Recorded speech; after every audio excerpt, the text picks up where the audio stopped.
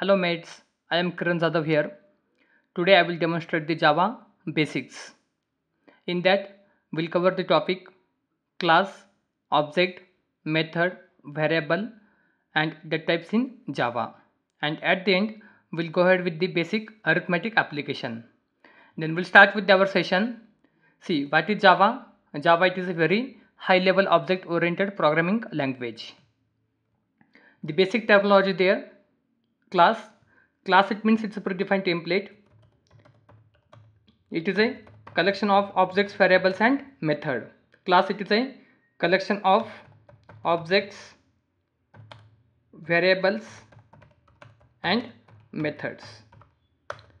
And the best example of class We'll say here class class name as customer.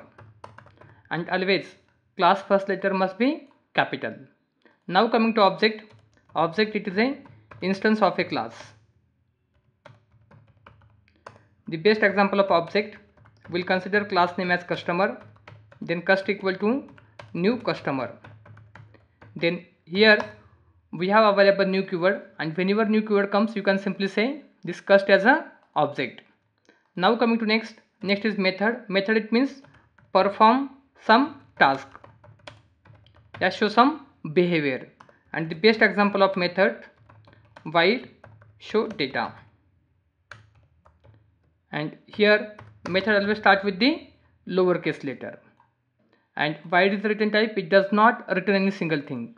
Method start with the lowercase intermediate letter we are giving here capital. Now coming to next next is variable. Variable it means storage. Store some data store some value store some result. In java there are three types of variable available first one is instance variable.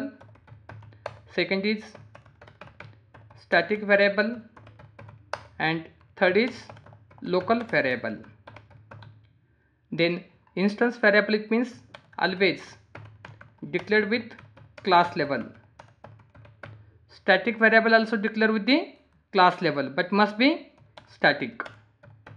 But must be static and local variable it means declared inside method or block. See instance variable always declare with the class level. Static variable declare with the class level but must be static. Static variable we are not able to declare inside method. Local variable declare inside method or block. Now coming to next data types in java. There are two types available. First one is primitive type. And the second one is non-primitive. Then primitive there are 8 byte short int long float double char and boolean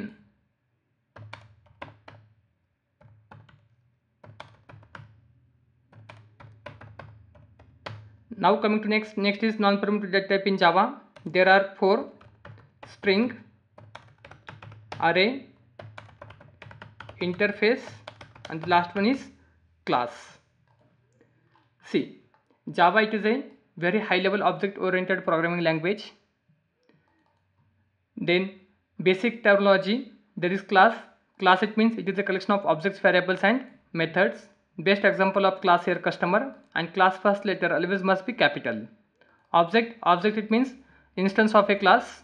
Whenever new keyword comes you can simply say this is the object and object always start with the lowercase. Method it means perform some task show some behavior. And here we have declared the method as void show data. Show data is our method and method always start with the lowercase. Void is a return type it does not return any single thing. Coming to next variable variable it means storage. Store some data store some value store some result. In java there are three types of variable. Instance variable static variable and local variable. Instance variable always declare with the class level. Static variable also declare with the class level but must be static. Local variable declared inside method or block. Now coming to next data types in java. There are two types available primitive and non-primitive. Under primitive there are eight data types you can simply say byte short int long float double char and boolean. Non-primitive, there are four string array, interface and class. Now we'll come up with the practical approach here. Simply open the Eclipse, goes to file, new, dynamic project. The application name I am giving here core Java. Now simply come up with the src main Java and right click on that new package. The package name I am giving here com dot fullstack dot core. Com it means os level core level package. Full stack it means our company name. And core it means we are learning the core java. And package all letters we are giving here lowercase as per standards. Then simply right click on package new java class. The java class name i'm giving here arithmetic application.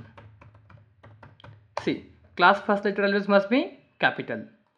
Then here i am creating the main method public static void main string arguments and declaring the variable here integer n1 equal to 20 n2 equal to 10 and the initial value of result I am giving here 0 then first we'll do the addition of two number. That's why I'm adding here result equal to n1 plus n2 and now I am just adding here this will be addition result in slash n it means we are adding in new line. Addition result. Now if you want to run this application the addition result we are expecting here 20 plus 10 will be 30 now we'll go ahead with the subtraction multiplication and division.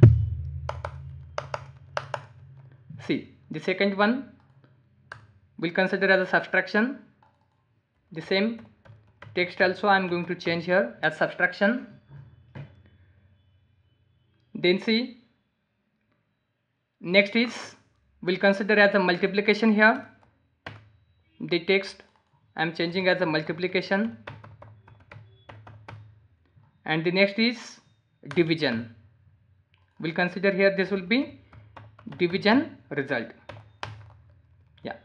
Now simply right click go ahead with the run as java application. It will give us the output what we are expecting. Yes. Then see here our class as arithmetic application class first letter always must be capital. Then main is our method name. Start with the lowercase here. This is the scope of our main method. This is the scope of our main class.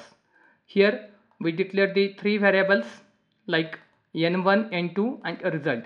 Those all are the type as int type. And we declare inside method that's why we are saying this is local variables.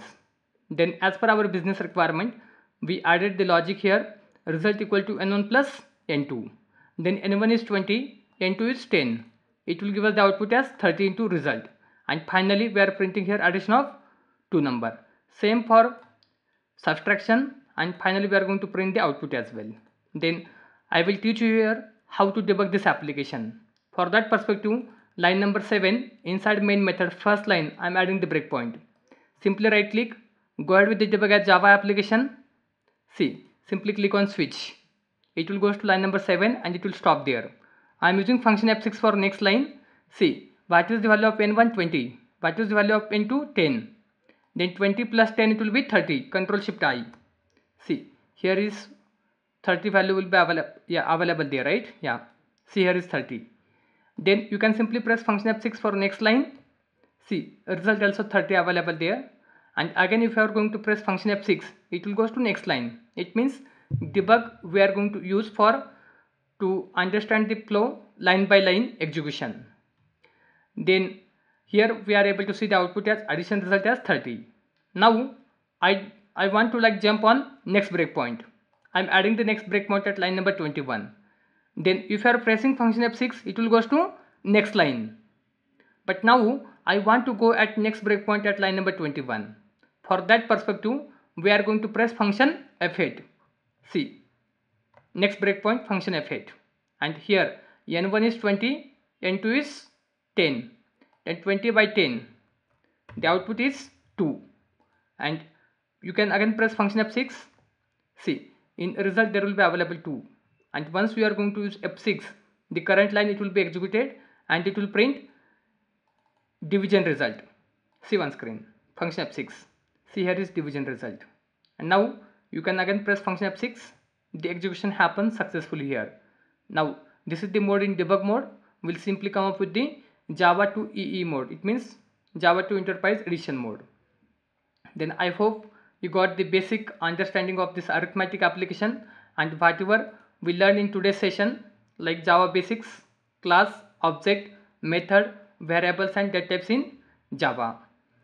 Then upcoming sessions will see more practical example here. Thanks for watching this video. Please do like share subscribe the channel to get more updates. And see you in next video